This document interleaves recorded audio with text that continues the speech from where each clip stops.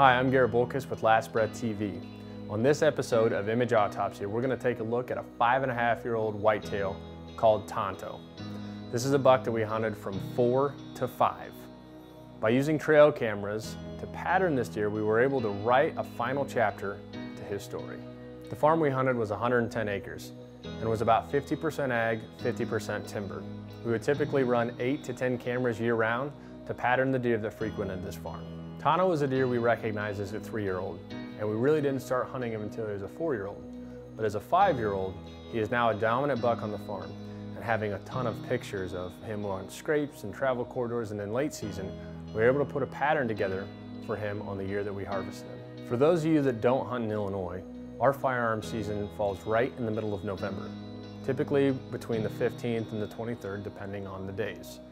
Needless to say, many deer are harvested within this time slot, and after that firearm season had came and went, we stopped getting images of Tanto and we were about ready to write him off as he may have been harvested by a neighbor or another hunter. After a long absence, we finally got a picture of him the day before second firearm season. We got a notification on our Moultrie mobile that he was coming into a field on one of our destination areas. This gave us important information to know A, he was still alive and he's still out there to hunt, and B, reassurance that we should hunt that farm. Had we not gotten that picture, had we not gotten that notification from our Moultrie mobile, we probably would have been on either a different farm or in a different location, not hunting Tanto. The lesson learned here is that trail cameras can be extremely reassuring. Knowing or understanding that a deer is still out there to be hunted, to be harvested, is important information.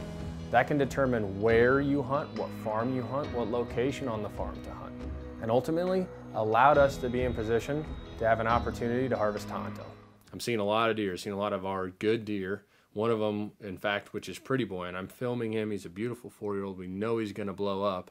And I just picked my head up out of the camera to scan the field, and here comes Tanto from the other way on a line to the does. Tanto just came in the field. Tanto just came in the field.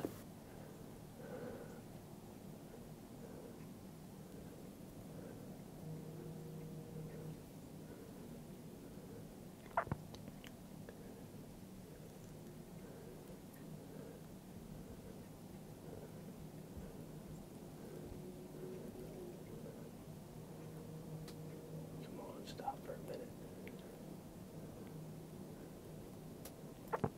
Don't bump her. Don't you do it.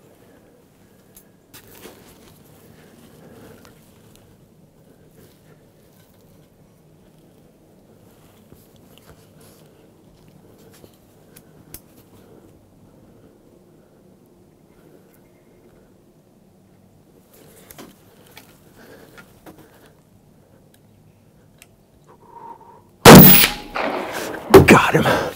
He's got. I got him. Where is he? Where is he? Where is he? Where is he? Where is he? Where is he? There he is. There he is. Look at him pouring blood. No. Oh, I, yeah, heart shot him. Definitely 100%. Dude, yeah. Yep. It, I mean, I filmed him for a while, but I was like, I can't, I can't hold on to this any longer, dude. 126 yards. Oh man, dude, I can't. I mean, it happened so early. So, Tanto is down, and this blood is ridiculous. 126 yard shot from the blind, and he didn't go 50 yards. He is over there, right over there. So, I'm gonna do my best to film this, but this blood is insane. So this is a point of impact. I mean, this is almost like a blood trail from a heart shot bow deer. And this is just the whole way. Ah, here he is. There's him, Johnsonville, and then Lucky, which Grant was able to harvest in early October, that were really the three hit listers on our farm. And this guy was uh, becoming the top of the list after getting more footage, seeing him in person, almost killing him with a bow. Um, this was really the, the, the cherry deer at the farm. He's probably 19 to 20 inches wide. He's got some great character with the split over here. He's got a little cheater point over here. Um, just a, a great buck. You know, we're happy to be able to hunt a deer like this. I'm super pumped to be able to kill a deer like this. Um, bittersweet though today, um, considering that Grant wasn't there with me. But regardless, this is a great deer. I think it's a deer that most people would be super proud to kill. I am blessed to be able to wrap my tag around this guy. It's a perfect way to end the season. I'm bucked out, ready to sit behind Grant until he gets it done.